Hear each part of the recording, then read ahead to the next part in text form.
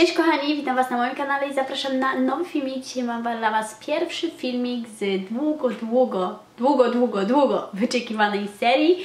Mam nadzieję, że się cieszycie i zaczynamy. Krótko Wam opowiem, na czym ta seria będzie w ogóle polegać. Zdecydowałam się po Waszych wielokrotnych prośbach, aby nagrać serię a dotyczącą Paryża. Chciałabym Wam po prostu pokazać trochę to miasto, a może podać Wam również e, takie ciekawe informacje, przydatne dla nowego turysty. Chciałabym się tutaj skupić na zabytkach, na restauracjach. Oczywiście, że a zaczniemy od takich typowych miejsc, jak wieża Eiffla, Champs-Élysées, łuk triumfalny i tak dalej, dlatego że to każdy chce zobaczyć po przyjeździe tutaj, ale postaram się skupić się tutaj na takich ważnych informacjach typu jakim metrem możecie dojechać, ile to będzie kosztowało, w jakich godzinach jest zamknięte, tak dalej. Um, ważne informacje. Mam nadzieję, że Wam się to przyda, że potraktujecie to jak taki troszkę poradnik po Paryżu. I co? Zaczynamy. Dzisiejszy pierwszy odcinek będzie skupiał się na łuku triumfalnym. Nie wiem dlaczego, ale jak pomyślałam o tej serii, to od razu pomyślałam o łuku triumfalnym, dlatego że ja bardzo lubię to miejsce w Paryżu.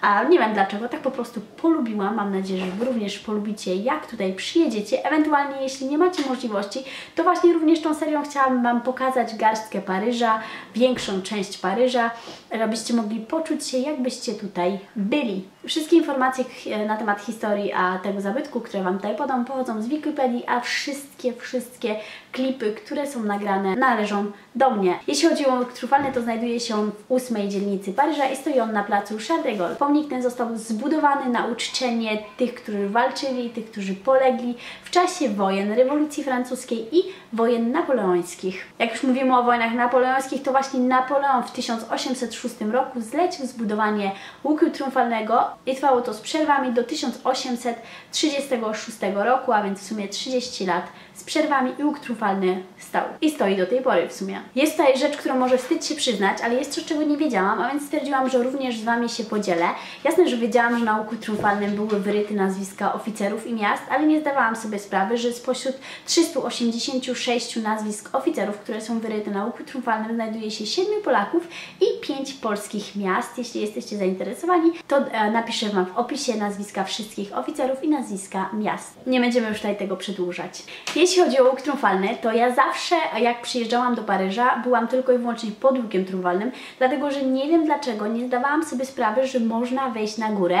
I a o dziwo, to nie tylko ja, dlatego że jest wiele osób, którzy nie zdają sobie z tego sprawy. Jak nie przeczytają jakiegoś poradnika, tylko tak przyjadą na szybko do Paryża, to nie zdają sobie sprawy, że na ten łuk triumfalny, na samą górę można wejść. Jest masa schodów, a więc e, ćwiczymy nogi. Ja dzisiaj wchodziłam na łuk triumfalny specjalnie dla Was, aby nagrać jeszcze więcej klipów.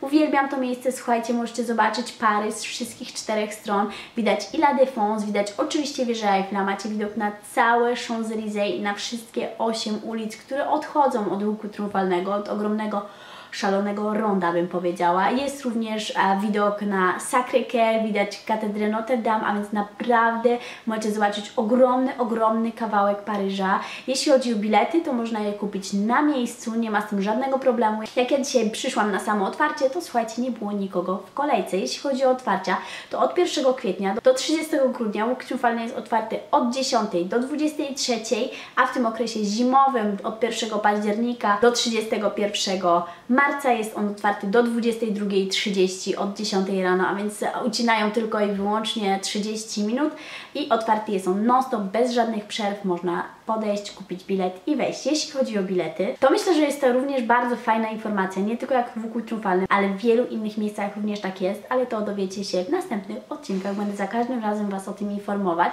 Jeśli chodzi o bilet normalny, kosztuje on 9,50, bilet ulgowy kosztuje 6,50, ale tutaj jest coś ważnego, a obywatele Unii Europejskiej od 18 do 25 roku życia po okazaniu dokumentów mają wstęp za darmo, bez żadnego problemu, musicie po prostu pokazać swój dowód osobisty, ja pokazuję swój polski.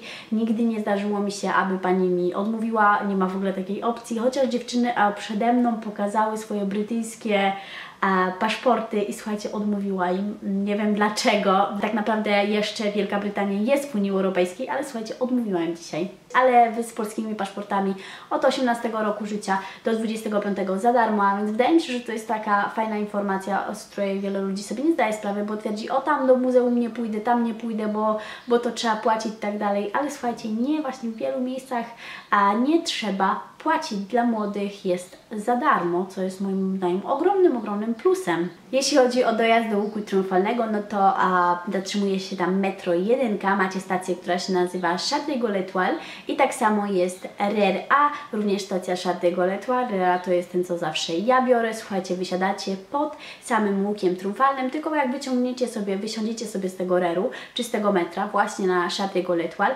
pamiętajcie, aby wziąć dobre wyjście, dlatego, że możecie wyjść na Champs-Élysées, możecie wyjść na łuk triumfalny, możecie wyjść na e, każdą różną ulicę i czasami okaże się, że weźmiecie złe wyjście e, w podziemiach i musicie robić całe, wiecie, i musicie potem zrobić ogromne kółko, a więc nie warto, zawsze dobrze patrzcie i wszystko jest fajnie opisane, tutaj nie ma żadnego problemu we francuskich metrach, to jest naprawdę ogromny plus, a ja uwielbiam jak wszystko jest dobrze opisane. Bierzcie wyjście na łuk triumfalny i wychodzicie dosłownie naprzeciwko, a więc duży plus, pamiętajcie o tym, bo ja czasami wezmę złe wyjście, bo źle zerknę i potem chodzę, chodzę, szukam, kręcę się bez sensu. Ale jeśli chcecie dojechać autobusami, to tutaj sobie zapisałam, jakie tutaj macie autobusy. Macie uh, busy, linie 22, 30, 31, 52, 73, 92, a więc słuchajcie, to jest w sumie w centrum Paryża, więc nie będzie żadnego większego problemu. Chciałam Wam tylko tutaj jeszcze polecić stronę internetową, bo często do mnie piszecie, Julka, chciałam dojechać do Primarka, bo wiem, że tutaj jest, jak dojechać, nie mogę znaleźć połączenia. Ja tam staram się Wam trochę pomóc zawsze, ale a tutaj wyświetli Wam się stronka i dam ją w opisie. To jest strona i również jest aplikacja na telefon. Ja jej używam zawsze, w ogóle się bez tego nie ruszam. To się nazywa ratp.fr i a, wpisujecie sobie dane miejsce, gdzie chcecie jechać i pokażę Wam z wszystkimi a, przełączenia, połączeniami, pokażę Wam, czy przypadkiem jakiś RER na przykład, czy jakiś metro teraz nie jeździ, a więc lepiej wziąć autobus, że będziecie tyle i tyle czekać. To jest we w każdych dużych miastach, tak?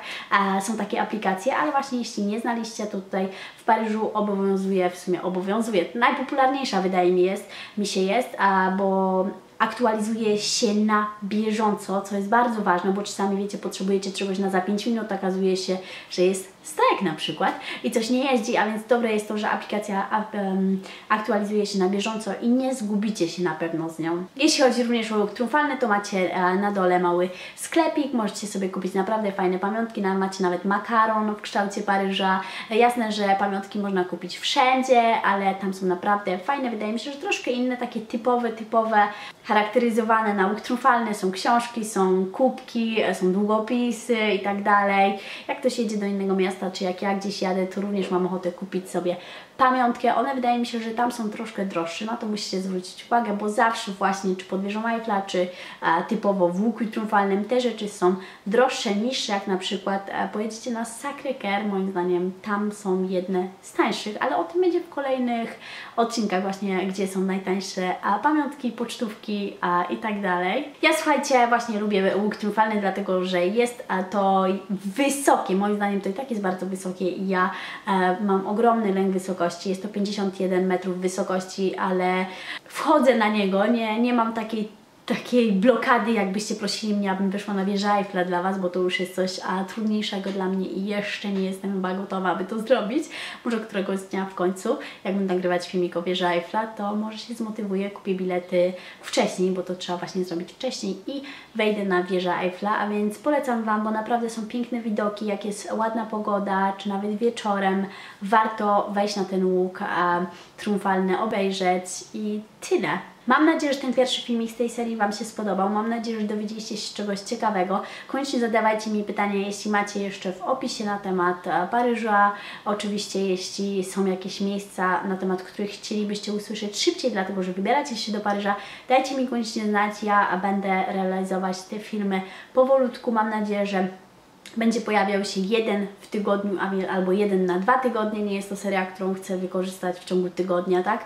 Chciałabym, abyśmy mogli opowiadać sobie o tym na dłuższą metę. I tak, kończę, zostawcie łapkę w górę, jeśli Wam się podobało. Zapraszam do zasubskrybowania mojego kanału, jeśli jesteście tutaj nowi i widzimy się już w następnym filmie. Pa kochane i kochani!